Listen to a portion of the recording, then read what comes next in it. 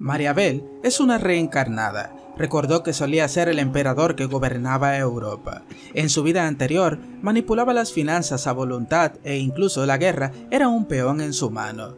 Disparos en el campo de batalla, la gente se mata unos a otros, creando un infierno de derramamiento de sangre miserable. Se quemaron casas y se perdieron familias y la gente se lamentó por ello. Ella construyó su gloria sobre estas desgracias. No había ninguna duda sobre eso. Mariabel está viviendo una vida muy feliz y sigue siendo así en esta vida. Llegó en esta vida para ser la princesa del pequeño país de Siltros. Ella es miembro del clan que gobierna las naciones occidentales y es la dominante.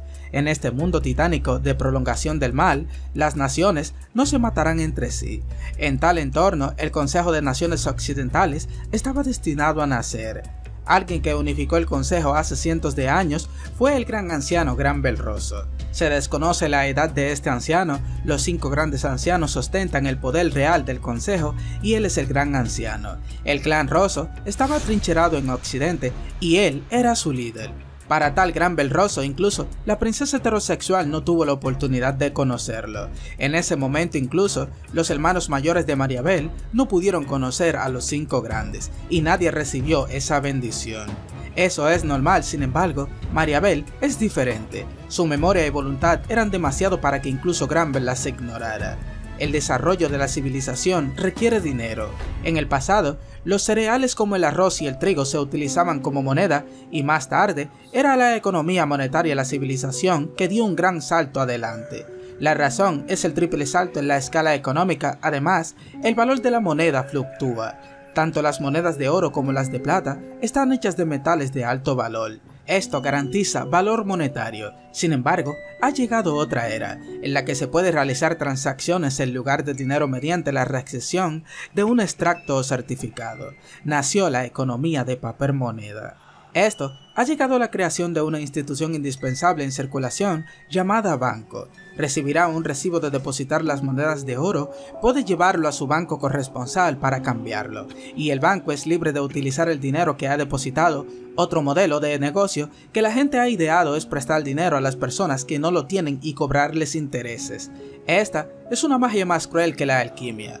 No iba a haber ese dinero, sin embargo, se acumulaban intereses. Por un lado está el efectivo en circulación y por otro lado está la cantidad total recibida por la descompostura. La diferencia entre los dos es irrecuperable. Alguien asegura que no podrá pagar la diferencia de precio de la nada y terminará en una situación miserable. El mecanismo debe ir acompañado de un problema fundamental de intereses sobre el dinero prestado.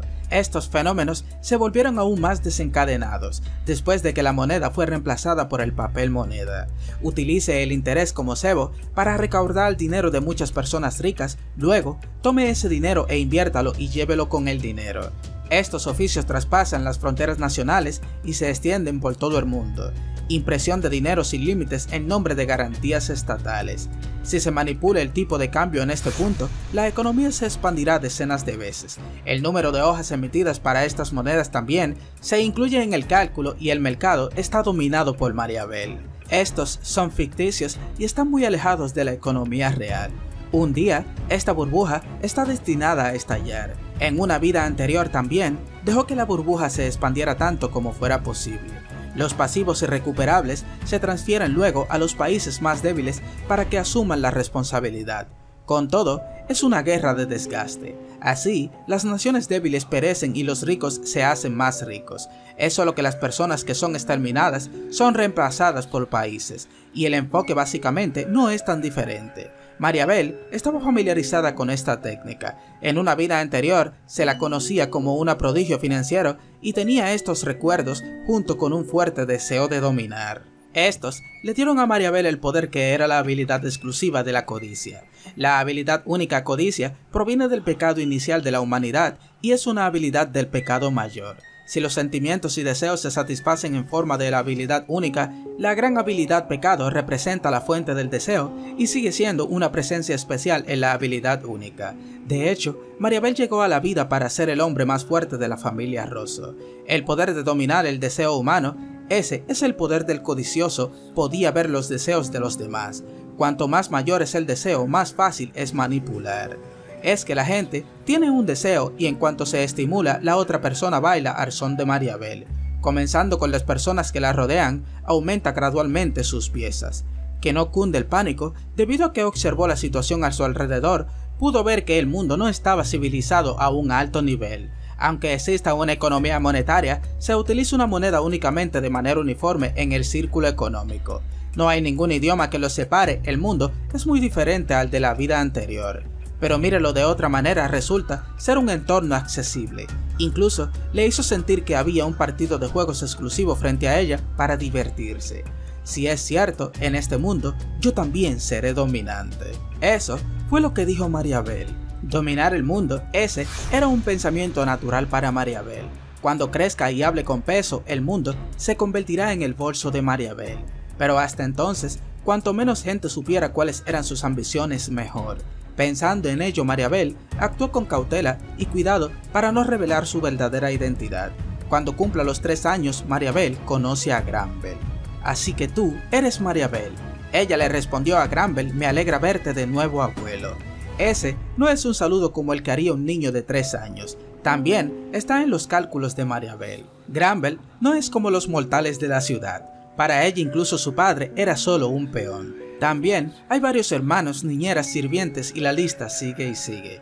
Mariabel ve a través de sus deseos y secretamente domina a estas personas como sus propios peones. Pero Granbel es diferente, él es especial. Ante Mariabel, que ya no actúa, Granbel lo cuestiona. ¿Por qué no estás tratando de manipularme? No hay una pizca de calidez para la familia inmediata allí, la relación se limita a los dominantes y dominados. Luego, Mariabel se dio cuenta de que sus instintos eran correctos. Si había tenido la intención de engañar a Granbel, debe haber sido asesinada por el otro lado en ese instante. Los codiciosos de Mariabel no son todopoderosos y en ocasiones encuentran resistencia. Una gota de ejecución repetida podría haber tenido la oportunidad de dominar a Granbel, pero el otro lado no le permitiría hacerlo. Habiendo hecho este juicio, Mariabel decidió confesarlo todo.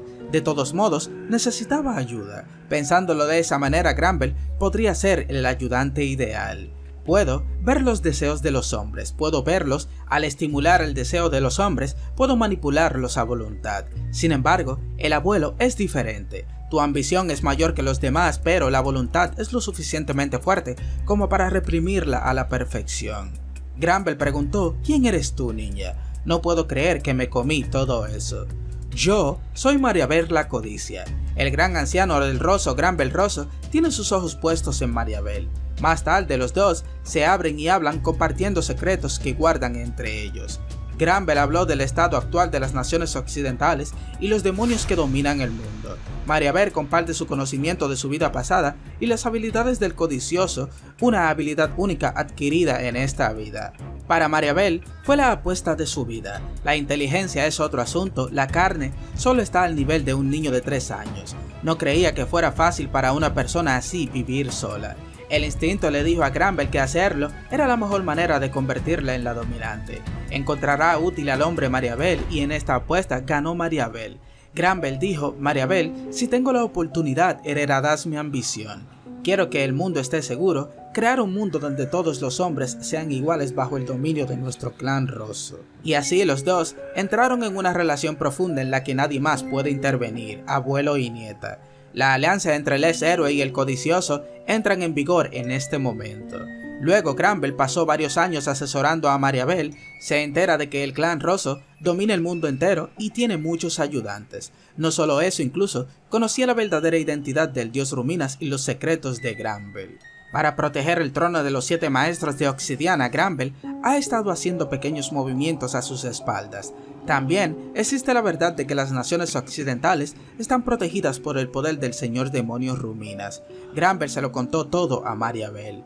Ahora llega el momento. Mariabel tenía ahora 10 años. Solo superada por Granville en estatus, ella comenzó a hacer su movimiento, usando todas sus fuerzas solo para enfrentarse a Rimuru.